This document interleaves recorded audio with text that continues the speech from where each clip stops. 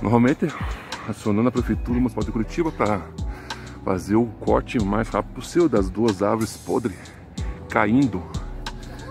Cada vez dá uma tempestade, elas tombam mais pro lado, direção à rua. Já orientei os pais para não deixar as crianças brincar na balança, mas são teimosos. Então, por conta e risco deles, o que planta colhe, né? Aqui é o Rafael Crispe Bezerra cuidando da comunidade e tentando solucionar os problemas. No rolê do hobby, em ajudar o próximo, plantando energia boa colher energia boa. Salve, fui!